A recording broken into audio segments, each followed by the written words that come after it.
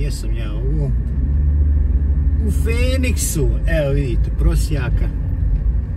Prosi čovjek.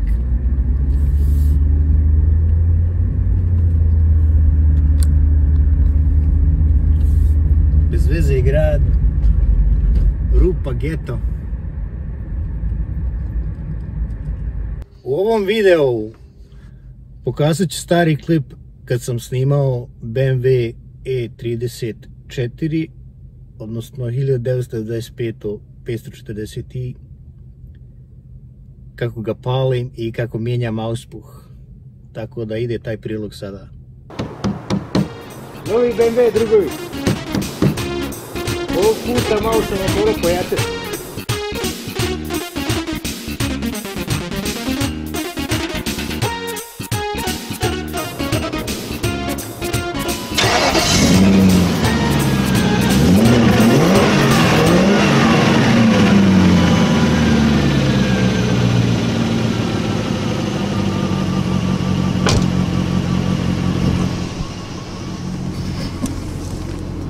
8 cilindara. Až da od motora. Stavit ću malo mikrofon pozada da se čuje malo bolje.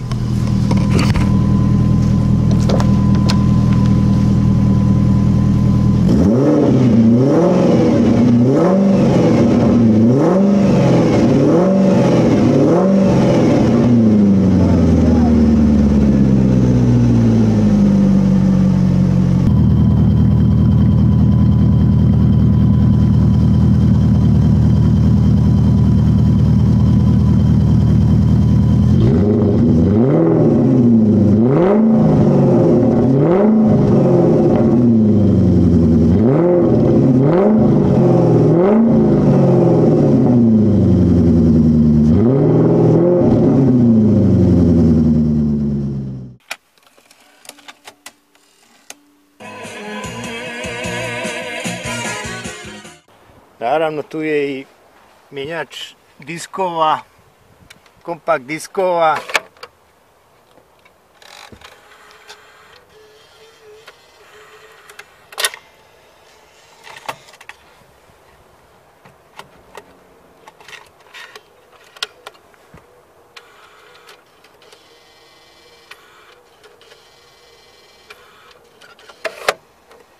Pest 40 i jaro.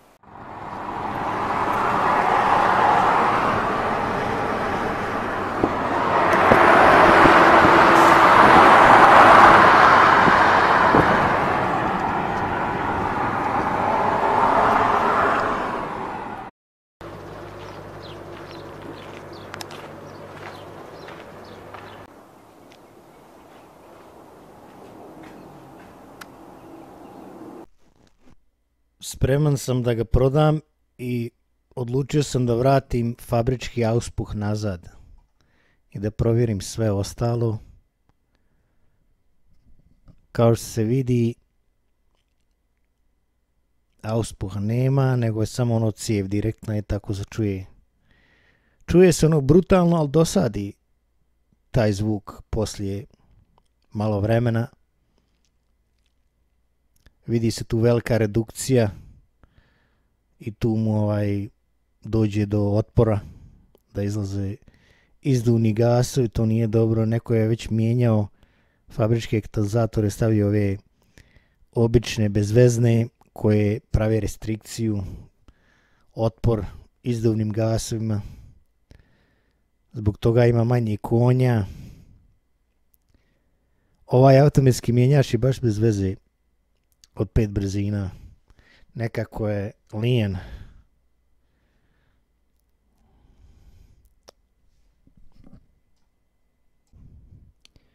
Kao što se vidi, vratio sam u fabrički auspuh. Ogroman je, jako je težak. A ovdje se vidi šta je bilo tu zavareno. Znači ovaj vlasnik od kojeg sam ja uzeo ovaj E34 je gonio tamo u servis da to sjeku, da stavljaju cijev tu, da se to čuje glasno. Kako je ovo auto? Da vidimo kako je ovo auto. Lancija.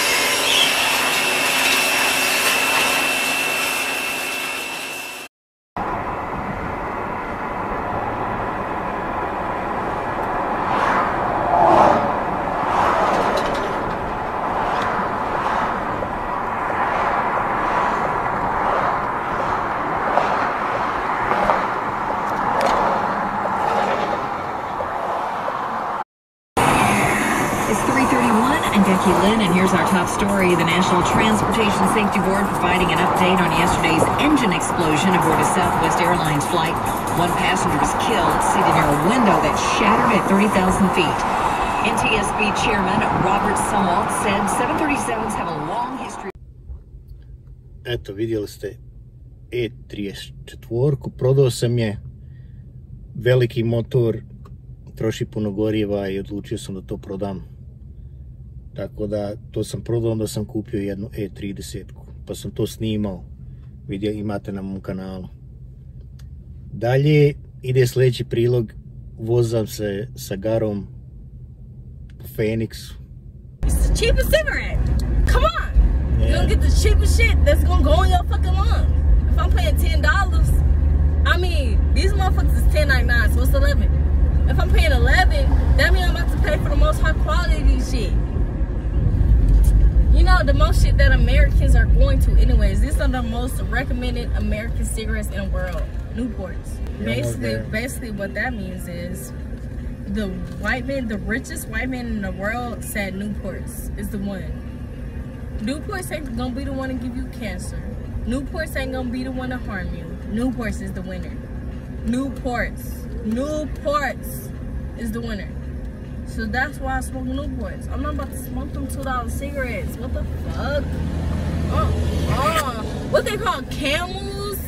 Camels. What else? Some other bullshit like. Yeah. Yeah, I'm not to smoke that shit. Mm. I'm gonna- if I'm gonna smoke, I'm gonna smoke for real. I ain't gonna be cheap with it neither. Yeah, I'm gonna you. smoke for real.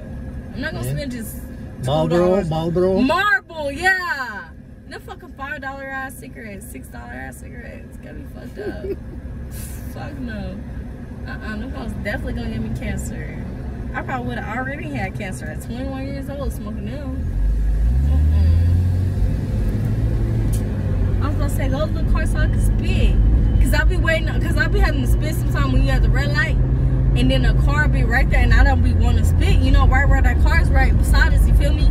Cause you know how Tupac got killed, right? Yeah. At the red light. Like, you see that light's green? Yeah. When it's red, that's where Tupac got killed. When it was red, when it was red, that's where Tupac got killed. So at a red light, I always be respectful.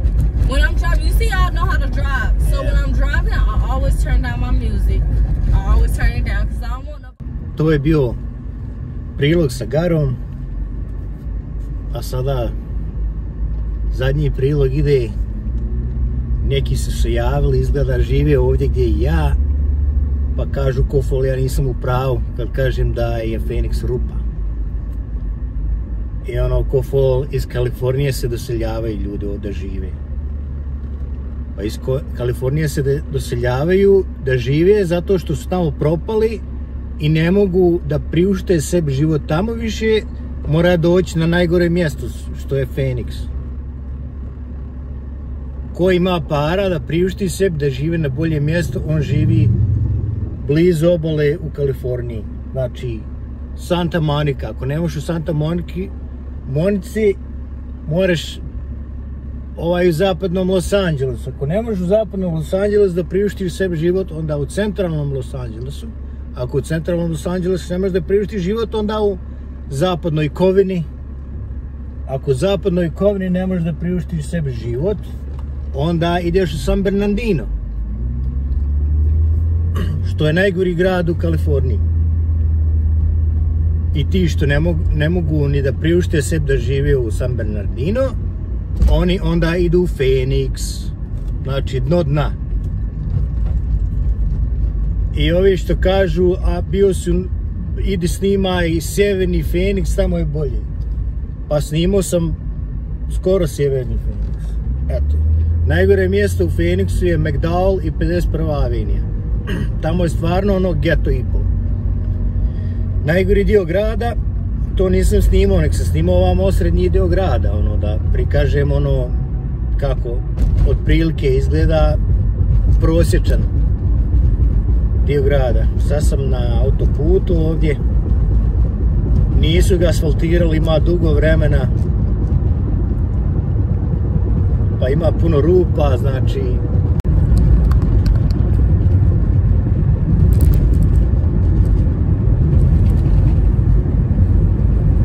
sve trese, radovi na putu.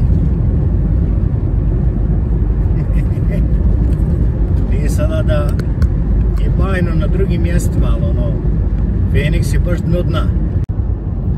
Onda argument snimaj Scottsdale ili Paradise Valley. Šta tu ima specijalno? Ništa drugačije nije od Phoenixa. Malo je novije ovaj Scottsdale je malo noviji, malo su veće kuće, to je u stvari isto sve. I tamo žive ovi ljudi koji nisu uspjeli da priušte sebi život u Santa Monici, propali su tamo i onda su doselili u sjeverni Scottsdale i onda misle da su bogataši. A obični ološi. Ono šljam od naroda. Bijelo smeće. Evo, sad baš imaju rupe. Rupetine po, po cesti. Evo za ove papke što me gledaju iz Feniksa, evo ide, šta ovdje piše? Kaktus. Je to sjeverni Feniks ili još nije sjeverni Feniks? Rupetine. Znači, iza mene neki šupak se približio uz moj branik, a ima vamo slobodnu liniju na lijevu stranu. Ne razumijem. Šta je sad moj BMW koji je star 25 godina toliko dobro izgleda da moraš baš prijeći blizu da gledaš automobil i po. Onda imamo ove malograđane iz Srbije, većinom iz Srbije mi pišu. Srbija me gleda. Imamo te neke malograđane što kažu, pa šta ti, to tamo u Srbiji sve skuplje. Jeste, ali u Srbiji, ovaj, u Beogradu imaš taj gradski ovaj, prevoz, javni prevoz, autobus piče lijevo desno. Ovdje nemaš to. Phoenix nemaš, moraš imati automobil. I kad god putuješ negdje, ideš na posao, ovdje je normalno da ideš na posao 30 km dugo. Znači, ne možeš pored to. I ovaj, nije toliko u Srbiji loše koliko vi govorite da je loše, jebi ga. Nekako, ovaj, ima ljudi koji kažu da Jugo automobil ne valja i njih je sramota da Jugo vozaju po Srbiji, a ja se hvalim kako Jugo vozim u Americi. Znači, meni Jugo je dobro auto, a vama u Srbiji je Jugo loš auto. Ne razumijem, to su neki malograđani, baš onaj teški ljudi. To je to za ovaj video. Pozdravljam svi u vas u bivšoj Jugoslaviji. Nadam se da ste uživali u mojem u mojoj video produkciji pa se vidimo u sljedećem. Pozdrav!